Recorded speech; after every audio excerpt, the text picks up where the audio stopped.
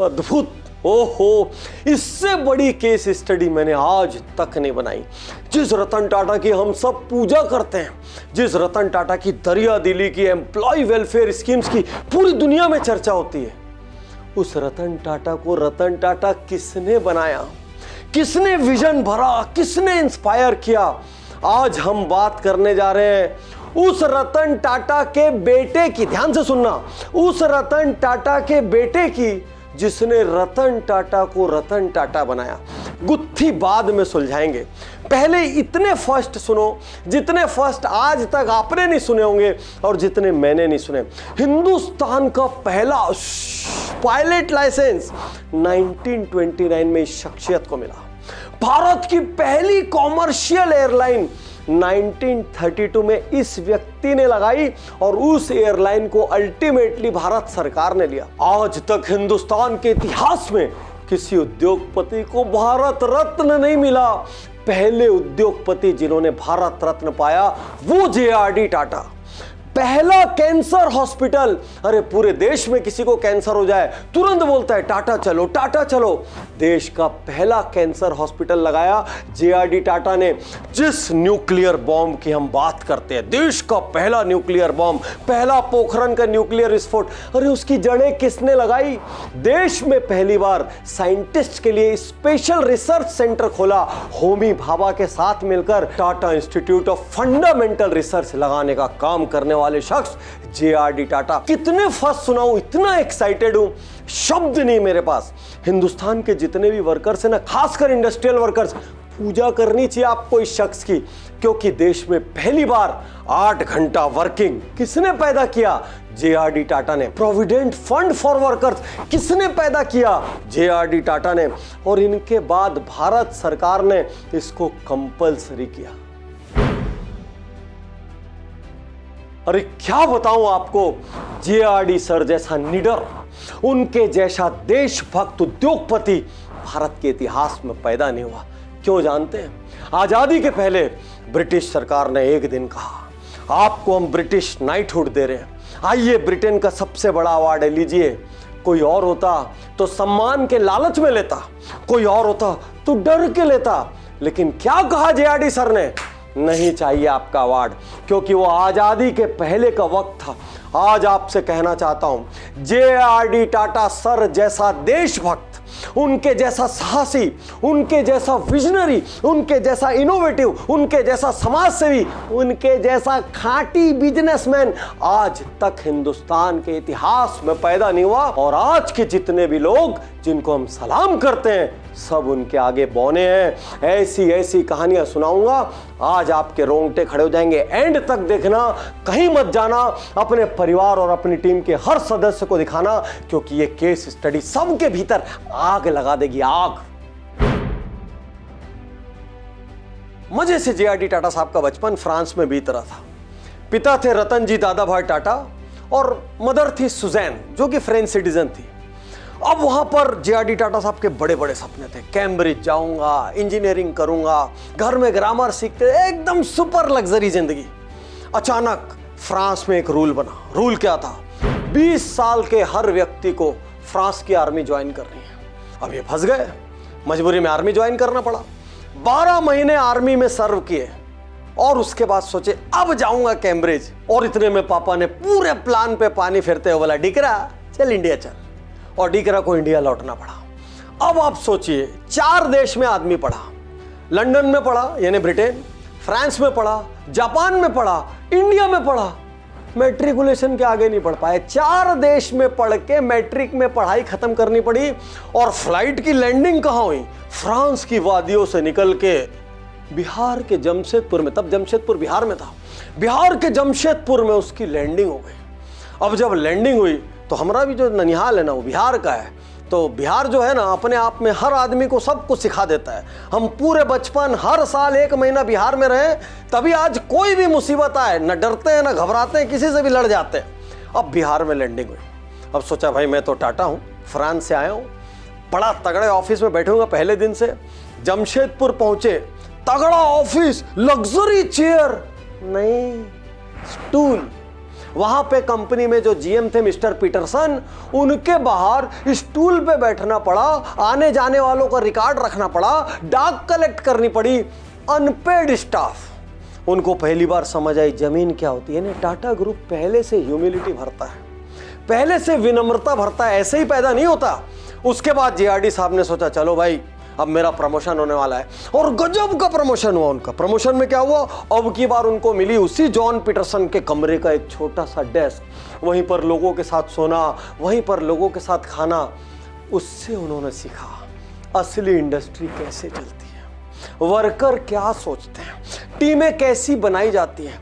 संघर्ष क्या होता है? पैसे की कीमत क्या होती है? और महज 22 साल की उम्र में अचानक एक दिन उनके पिता का देहांत हो और जब देहांत हुआ तो मजबूरी में इनको इतनी यंग एज में टाटा सन्स का फुल टाइम डायरेक्टर बनना पड़ा, पूरे परिवार का मुखिया बनना पड़ा। इन्होंने अपनी जिम्मेदारियों से मुँह नहीं चुराया। इन्होंने बहाना नहीं बनाया, इतनी कम उम्र है, अभी तो मेरे को कुछ नहीं आता, मेरी तो खेलने की उम्र है, कुछ नहीं। ज़िम्मेदारी संभाल ली। आप में से किसी के ऊपर भी ज़िम्मेदारी आ रही ना, समझना, भगवान ने आपको चुना है उस ज़िम्मेदारी को उठाने के लिए। दोस्तों, मैं चौतीस साल की उम्र में बिना उफ किए इतने बड़े ऑर्गेनाइजेशन को फ्रंट से लीड करना, इतना बड़ा विजन देखना और लाखों एम्प्लॉयज़ को अपनी संतान की तरह प्यार करना, ये थे जे आर डी टाटा आज आपसे ये कहने का मन नहीं है कि पूरा वीडियो देखना। क्योंकि नहीं देखोगे ना तो आज आप मिस करोगे, अफसोस करोगे, इतने बड़े महानायक से आपका परिचय नहीं होगा। बाई द वे लर्निंग में यकीन रखते हो तो 300 से ज़्यादा लाइफ और बिज़नेस के अद्भुत videos Ujjwal Patni YouTube channel पर है। आपका स्वागत जब हम अचीवमेंट्स की बात करते हैं, कौन सी लाइन यूज़ करते हैं? स्काई इज़ द लिमिट लेकिन जे टाटा अरे उनके लिए even sky was not the limit इसीलिए उनको फादर ऑफ़ मॉडर्न एविएशन कहते हैं। समय से कितना आगे था वो शख्स? यदि आज आप प्लेन में बैठते हैं, यदि आज आप आसमान में प्लेन को देखते हैं तो उसका सारा श्रेय सिर्फ़ जे टाटा को जाता है। 1932 में पहली बार कराची से मुंबई वो एक छोटा सा एयर मेल प्लेन उड़ा कर ले लेके आए 1938 में जेआरडी टाटा ने डोमेस्टिक एयरलाइन बनाई। लोग क्या कहते थे? बहुत खर्चीला काम है। अरे, विमान यात्रा खुद इतनी महँगी हिंदुस्तान में नहीं चलेगी। लेकिन जे आर डी टाटा कहते थे, यदि दुनिया को मैच करना है, यदि देश को वर्ल्ड लीडर बनना है, यदि हिंदुस्तान को ग्लोबल होना है तो हिंदुस्तान में एयरलाइंस चाहिए। और देखते ही देखते 1947 में उन्होंने इंटरनेशनल एयरलाइंस बना दी। दोस्तों, कोई व्यक्ति कितना परफेक्शनिस्ट हो सकता है? आज आप एक बिज़नेस ओनर है, आपसे पूछता हूँ क्या आप अपने ऑफ़िस का टॉयलेट साफ़ कर सकते हैं? कमोड साफ़ कर सकते हैं? नहीं करेंगे ना आप बोले, क्या बात कर रहे हो पाटनी जी? लेकिन एक विमान यात्रा की कहानी बताता हूँ। एक फ़्लाइट टेक ऑफ़ के लिए तैयार हो रही थी और उसके कमोड की क्लीनिंग की जा रही थी। जे आर डी टाटा अचानक वहाँ पहुँचे। उन्हें लगा, ठीक से नहीं हो रहा है। Can you believe it J R D Tata ने क्रू के साथ मिलकर कमोड क्लीन किया।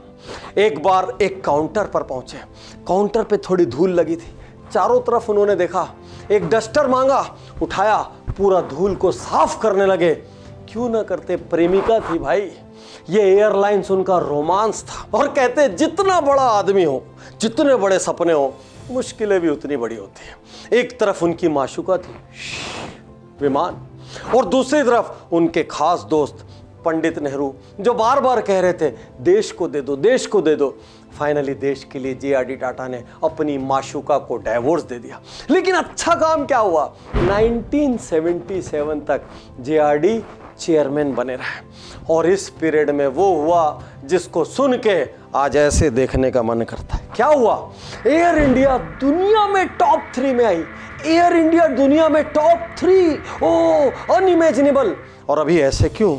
क्योंकि ये हज़ारों करोड़ हम टैक्स पेयर्स का लेती है और उसके बावजूद इसके ऑपरेशंस में हमेशा क्वेश्चन मार्क लगा होता है। दोस्तों, वो सपना वहाँ टूट गया, वहाँ छूट गया और उसी सपने को अभी हाल में रतन टाटा साहब ने पकड़ा और विस्तारा बनाई। सिंगापुर एयरलाइंस में स्टेक लिया, क्योंकि बड़े लोग जब सपना देखते हैं ना, वो कभी ना कभी कैसे ना कैसे उसको पूरा करते हैं। हर दिन मैगजीन खोलता हूँ फ़ोटो देखता हूँ। फला उद्योगपति का इतना बड़ा बंगला, इतना बड़ा विला इतना बड़ा प्लेन इतनी कारों की फ्लीट इतना बड़ा यार्ड ऐसा आइलैंड ऐसी शादी।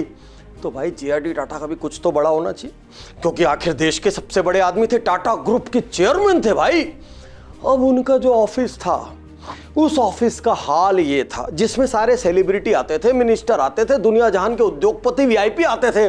एक दिन धीरे से सारे स्टाफ धीरे से टाटा साहब के पास जाके कहते, सर, ये पर्दे कितने फेड हो गए? चेंज करा लीजिए। सर, सोफा कवर देखिए, फट गया है। इतने वीआईपी लोग आते हैं। टाटा साहब ने वाला देखते हैं। फिर थोड़े दिन बाद गए। सर प्लीज़ चेंज करा लीजिए। हम लोगों को शर्म आती है। हमारे घर में इससे अच्छा सोफा है। अब सबके खूब दबाव के आगे टाटा साहब एक बार राज़ी हो गए। उन्होंने अपने सेक्रेटरी को बोला, चलो आज खरीदी करके आते हैं। और उनके पास परमानेंट एक लाल रंग का कैलकुलेटर रहता था। लेके बाज़ार चले गए। सोफे का कपड़ा देखने गए। हाँ भाई कितना रुपया मीटर? तुरंत अपने कैलकुलेटर में कैलकुलेट किया।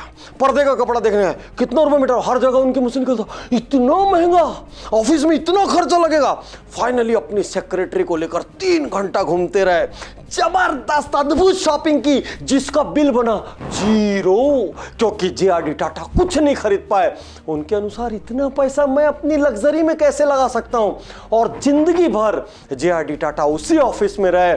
उनके जाने के बाद ऑफ़िस में चेंजेस आए। एक और छोटे छोटे अमीरों को हम वेल्थ डिस्प्ले करते देखते हैं। एक और, हर दिन हम देखते हैं, फला सीईओ को इतनी सैलरी मिली, फला कंपनी के फाउंडर ने इतनी सैलरी ली। उसके बीच यदि सिंप्लिसिटी का अद्भुत उदाहरण देखना है तो आप जेआरडी टाटा को देखिए। और वही सिंप्लिसिटी मेरे दोस्त, आज के रतन टाटा जी में आई है। और जब मैं कहता हूँ, रतन टाटा को, रतन टाटा रतन टाटा के बेटे ने बनाया तो आपके दिमाग में गडम गड हो जाता है। लेकिन सच्चाई यही है जेआरडी टाटा के पिता का नाम था रतन टाटा, और उस जेआरडी टाटा ने अपने सारे विजन को, अपने सारे गुण को, अपने सारे संस्कारों को बिल्कुल रतन टाटा के अंदर डाल दिया। चलिए थोड़ा रेट्रोज में चलते हैं नाइन्टीज में चलते हैं। नाइन्टीज में एक लड़की अपने घर पर बैठे सुबह सुबह अखबार पढ़ रही है। और हाँ इस कहानी से यह समझ आएगा, हिंदुस्तान की आधी आबादी के लिए इंजीनियरिंग कैसे खुली?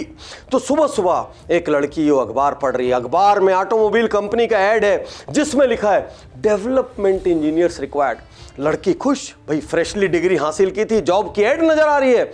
लेकिन जैसे ही नीचे पढ़ा, लिखा है ladies candidates do not apply और लड़की का दिमाग ठनक गया। उसने आव देखा ना ताव, क्योंकि वो भी बहुत बड़ी हस्ती, आगे खोलूँगा कौन है वो? आव देखा ना ताव। जीआरडी टाटा को उठाया, उस जमाने में पोस्ट कार्ड चलता था पोस्ट कार्ड लिख दिया। और पोस्ट कार्ड में ये लिख दिया कि टाटा समय से आगे की कंपनी है। सोसाइटी में चेंज लाने वाली कंपनी है। इनोवेटिव कंपनी है। यदि आप फीमेल्स को मौका नहीं देंगे तो कौन देगा? जे आर डी टाटा साहब के पास पोस्ट कार्ड पहुँचा। देखा, आग बबूला। बोला, पूरी टीम को, आओ, बैठो यहाँ पर। क्यों भाई? तुम लोगों ने लेडीज़ इंजीनियर्स को इसमें परमिट क्यों नहीं किया? बोले, सर, ऑटोमोबाइल कंपनी है, रात की शिफ्ट हो सकती है, दिन की शिफ्ट हो सकती है, चारों तरफ़ सारे मर्द हैं, मेल्स हैं। सर, गड़बड़ हो जाएगी। और जे आर डी टाटा, ये सुनकर अपनी टीम को यूँ घूर के देखने लगे। चारों ओर सन्नाटा छा गया। और फिर जेआरडी ने कहा, हम नहीं करेंगे तो कौन करेगा? ये देश हमारा है। यहाँ पर अवसर क्रिएट करने का जिम्मा हमारा है। आज की आज अपॉइंटमेंट लेटर जारी कीजिए। और उस दिन जिस लड़की को जॉब मिला, जिसने जेआरडी को पोस्ट कार्ड लिखने का साहस किया कौन थी वो लड़की? इन्फोसिस के फाउंडर की पत्नी, मिसेस सुधा मूर्ति जो अपने आप में देश की बड़ी समाज सेवी के रूप में जानी जाती है। और वहाँ से दरवाज़ा खुला टाटा ग्रुप में फीमेल इंजीनियर्स के लिए। और ये बात आग की तरह चारों ओर हर उद्योग में फैली। और उद्योगों ने धीरे धीरे फीमेल इंजीनियर्स के लिए दरवाजे खोल दिए। यदि आज आप कहीं जॉब कर रही हैं यदि आप डे नाइट की शिफ्ट कर रहे हैं, यदि आप पुरुषों के साथ यूँ कंधे से कंधा मिलाकर काम कर रहे हैं तो आपको इस वक्त जेआरडी टाटा को खड़े होकर सैल्यूट करना चाहिए। जेआरडी टाटा की सबसे बड़ी खासियत क्या थी? पहले हाईली क्वालिफाइड हाईली टैलेंटेड लोगों को एम्प्लॉय करो। क्योंकि मीडियो मीडियोकर लोग कभी बड़ा ऑर्गेनाइजेशन खड़ा नहीं कर सकते। उनके भरोसे कभी बड़े सपने हासिल नहीं किए जा सकते। और जिन एम्प्लॉयज़ को लो, उनको बोलने की आज़ादी दो, उनको गूँगा, उनको पपेट बनाकर मत रखो। भले वो विचार कितने भी विरोधी क्यों ना हो। और उन्होंने सेवेंटीज में किसको हायर किया? डॉक्टर जे जे ईरानी को कहा स्टील डिवीज़न हेड करो। और साथ साथ बोला, एक काम करो, जापान जाओ, क्योंकि जापान की टेक्नोलॉजी क्या थी? यूएस से यूरोप से बहुत आगे चल रही थी। अब जे जे ईरानी जापान चले गए। चार हफ़्ते का ट्रिप था। चार हफ़्ते जे जे ईरानी ने एक एक स्टील प्लांट देखा एक एक फर्नेस देखी एक एक रोलिंग मिल देखी, लौट के आए। अपने जे आर डी साहब बहुत एक्साइटेड बोले, बोलो जे जे। अब जे जे चुप बैठे जे आर डी ने कहा, बोलो भाई। बोले, सर, ट्रिप बहुत अच्छी रही। हमने अद्भुत प्लांट देखे। हमने देखा हर दस साल में जापानी क्या करते हैं? प्लांट को तोड़ देते हैं और नया प्लांट बना देते हैं। तो फिर जे जे शांत। अब जीआरडी ने बोला, बोलो ना भाई, क्या देख कर आया तुमको किस चीज़ के लिए भेजा था? सर, बोल दूँ। अरे, बोल दो। और डॉक्टर जे जे रानी ने बोलना शुरू किया, सर, हमें भेजने से ज़्यादा अच्छा होता, आप फाइनेंस टीम को भेज देते। जे टाटा, देखने लगे। क्यों भाई? टेक्निकल टीम करेगी कि फाइनेंस टीम करेगी? नहीं सर प्रॉब्लम यह है कि फाइनेंस टीम के पास जब भी प्रपोजल भेजो, वो बोलते हैं, बॉम्बे में पैसा नहीं है। एक नहीं, दो नहीं, पचास प्रपोजल भेजे जा चुके हैं। अब जे आर डी टाटा थोड़ा तमतमा रहे थे। और उसके बाद जे जे ईरानी क्या कहते हैं? सर ऐसा ही चलता रहा। तो एक दिन हमको टाटा स्टील को म्यूज़ियम में कन्वर्ट करना पड़ेगा और आप और हम दरवाजे पे खड़े होकर टिकट बेचेंगे। हाउ टाटा स्टील का म्यूज़ियम देखो। और इतना सुनने के बाद आज का कोई अड़ियल उद्योगपति होता ना, कहता, इतनी बदतमीजी से बात कर रहे हो यू आर फायर्ड लेकिन वहाँ क्या परिणाम हुआ? विद इन सम टाइम वहाँ पर पोर्टुगल से नई ब्लास्ट फर्नेस आ गई और आदेश जारी हुआ टाटा स्टील को मॉडर्नाइज किया जाए, सवाल ये है। क्या आप अपने एम्प्लॉयज़ को इतने ओपननेस की परमिशन दे सकते हैं? क्या आप इतने हेल्दी डायलॉग्स को प्रमोट कर सकते हैं? क्या आप ऑन स्पॉट ऐसी डिसीज़न मेकिंग कर सकते हैं? क्या आप इतना बड़ा क्रिटिसिज्म झेल सकते हैं? यदि आप झेल सकते हैं तो शायद आप में भी थोड़ा सा, इतना सा परसेंट जे टाटा का आ सकता है। आज सर रतन टाटा ने कोविड में जो किया, मन करता है दोनों हाथ यूँ जोड़ूं यूँ नब्बे डिग्री पे झुक कर नमस्ते करूँ, मिल जाए तो पैर छू के प्रणाम कर लो। डेढ़ हज़ार करोड़ से ज़्यादा। एक क्षण में बिना सोचे डोनेट कर दिया। तत्काल 24 क्रायोजेनिक टैंकर लगाए, ताकि फॉरेन से लिक्विड ऑक्सीजन लाई जा सके।